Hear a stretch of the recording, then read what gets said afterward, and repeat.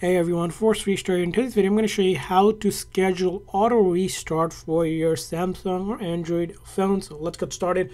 Now, auto restart allows you to set a schedule so that the phone can basically restart itself to fix any sort of issues that you may be having. It's good to auto restart it or basically restart it from time to time to get the best performance on your phone. So in order to do that, on your device, swipe up and find the settings app.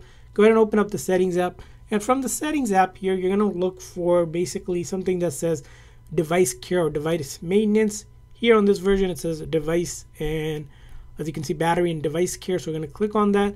Right here, we go a little bit further. There's a performance section that says auto optimization. If I click on it, I see there's the option for auto restart. So I can click on it.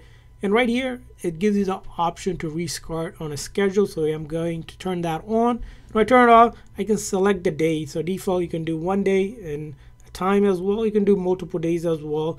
Or you can do every day of the week. Just simply select all of them, whatever you prefer. And then a time as well that you want to restart.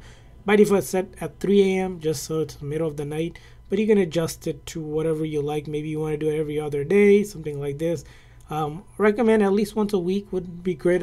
idea, maybe middle of the week or something like that. I don't know, whatever works for you. But this auto restart will help.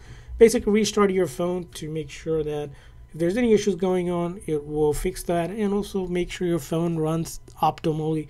And that's how you do it. I hope this video was helpful. So, please consider a like and subscribe button for more tips and tricks for your Samsung and other Android devices. We'll see you guys next time.